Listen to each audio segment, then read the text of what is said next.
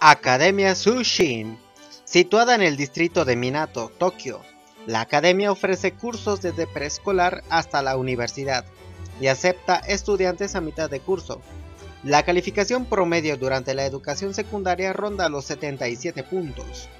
La academia fue inaugurada en el siglo XVIII, durante el periodo Edo, para contrarrestar la creciente influencia de los eruditos holandeses. Se inauguraron otras tantas instituciones educativas privadas en aquella época, y la Academia Sushin fue creciendo a medida que iba absorbiendo a otras. En 1849, el propio emperador le otorgó un título imperial con el que la reconocía como un lugar con unos estándares educativos muy elevados.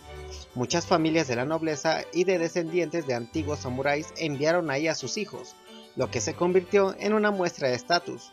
Pero algunos estudiantes consiguieron entrar gracias a sobornos y otras estrategias moralmente cuestionables.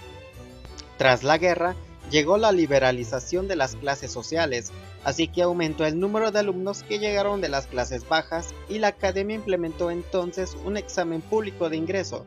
Sin embargo, el elevado precio de la colegiatura y la expectativa de que muchos entraran a base de sobornos provocaron que volviera a limitarse el ingreso solo a las clases altas, y aunque se hicieron algunas excepciones para mantener una imagen de honestidad y diversidad.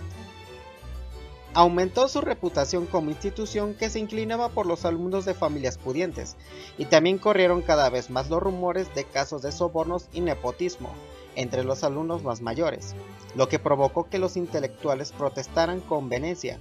Por ejemplo, se estableció una jerarquía dentro de la escuela en la que los alumnos que habían acudido desde pequeños eran considerados puros, mientras que los que entraron en secundaria eran impuros. Cuando un impuro salía elegido como presidente del consejo estudiantil, era corrido antes de que cumpliera su periodo de mandato. Como consecuencia, el número de estudiantes impuros que se presentaba a la presidencia disminuyó y hasta la fecha, solo tres de estos alumnos han conseguido ejercer como presidentes del consejo.